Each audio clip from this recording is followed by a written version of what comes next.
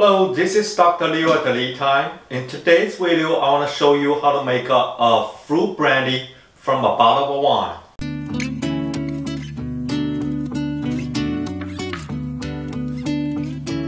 So to make a, a brandy, you need a, a, bottle of wine. I use a 1.5 liter, uh, the wine, the red wine.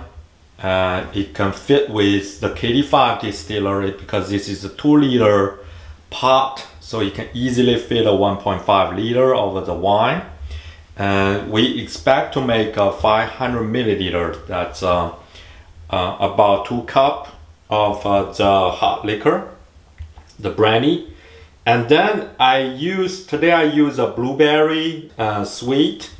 And to balance the taste, I add a pineapple. Um, besides its a special aroma, it also brings a little bit of sour. And then just need a mason jar. This is a one pint. It's around a liter size. So it can have a 500 milliliter, the brandy, and uh, add a two cup, like another 500 milliliter of the fruit.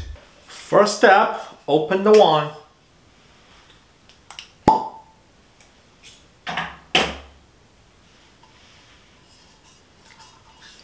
So today I'm using a mixture of uh, Cabernet Merlot, the two different kind of uh, the grape uh, make the wine. You know the wine is made just from a fermented grape uh, because it has a sugar so it changes into alcohol during the fermentation but uh, you also keep the flavonoid and the non-flavonoid into the wine because it didn't do the distillation when you do the distillation make a brandy so the the flavonoids those are the large molecules these will keep inside the water phase they will not evaporize into the brandy but those uh, non-flavonoid small molecule, you know, the smell, those uh, odor, they are the volatile compounds. Those will be vaporized into brandy. Today I'm using the KD5 distiller. It has a pot. This is a 2 liter size and it has a steamer. Steamer is a 500 milliliter. When we distill the wine or liquor, so we don't need a few stuff into the cup. This is especially for making essential oil or hydrosol. But actually, I have an idea like add some fruit here when we distill the wine so it will carry aroma from the fruit and into the brandy. Uh, but today I just add a wine into the pot and uh, I have a 1.5 liter wine so it can just easily pour in so I gotta pour all of them into the pot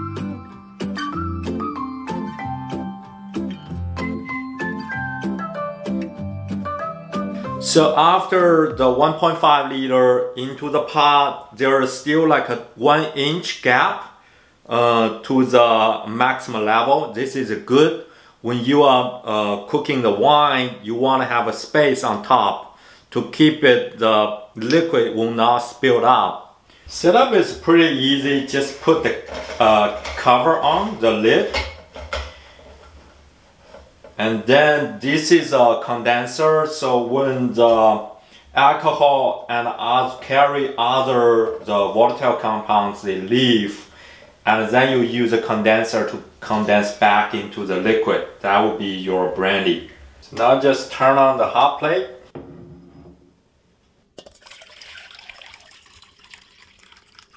So after the first drop of ethanol coming out, then we can reduce the heat to the medium level because alcohol has a lower boiling point than water. It's uh, around 78 Celsius and water is 100 uh, so we can reduce the heat to make sure higher or more amount of ethanol coming out than water so keep our the liquor or the brandy has a higher um, alcohol level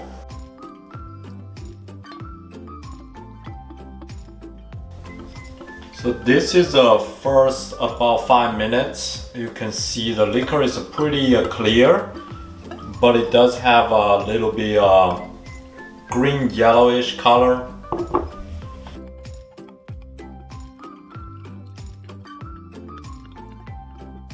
So now the color becomes much lighter and uh, close to uh, clear, transparent. And look at the first five minutes. See the difference, uh, big difference. I smell it. This one definitely first is super strong alcohol and also has a little bit acidic uh, aroma. So now just keep continue the distillation after I collecting the 500 milliliter, uh, that means that will be around 40% uh, or 80 proof. Then I can stop it. There are 400 milliliter of uh, the clear uh, brandy. Um, gotta measure its uh, alcohol level.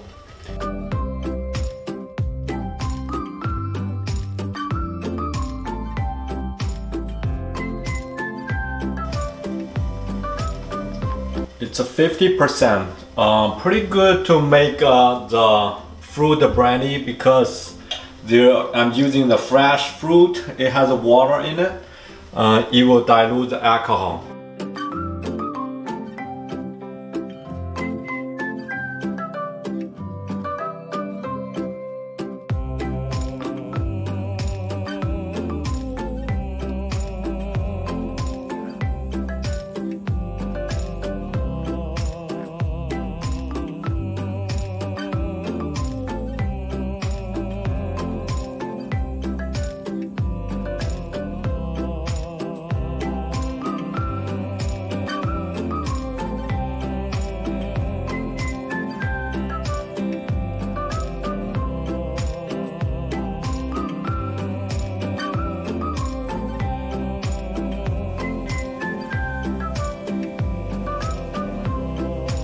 So I add some full blueberry for decoration and just let it sit for six weeks. Then you're ready to drink the fruity brandy. It's like a uh, season in the oak um, barrel, but this is like a season in a, a fruit cup. If you are interested in the distiller, it's a LeTime distiller. Uh, go to uh, letimestill.com and you'll find a different size of a distiller. is a fit for you to make essential oil and a hydrosol. And see you next time.